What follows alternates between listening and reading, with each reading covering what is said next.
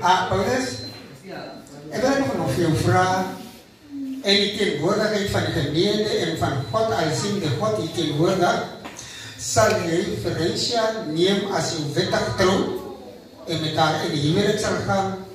Zal haar voor haar lief hebben en die dag van voorspoed, zowel als in die dag van teenspoed, als daar een kosten is, en je daar ook een is, een kosten is, is niet, en ziekte en al problemen, zal je nog steeds waarnemen als uw wettige vrouw?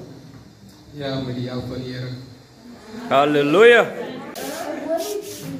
Wanneer ik zit in mijn opnieuw, als mijn vrouw, met die help van de Heer, door die wordt ons. Halleluja. Ferencia, ik vraag je dezelfde vraag. vraag. Zal je voor Paulus nemen als uw wettige man?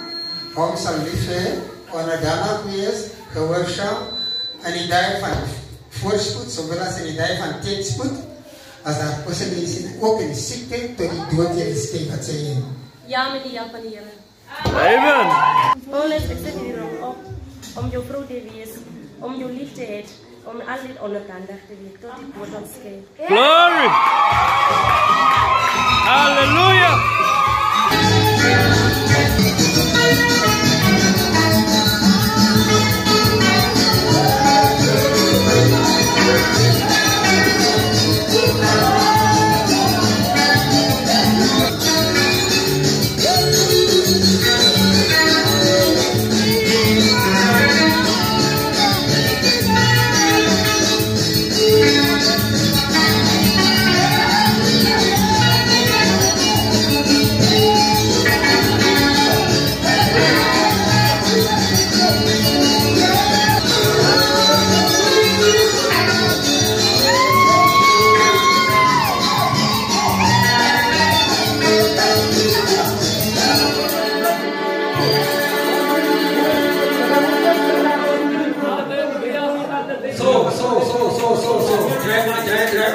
beleza?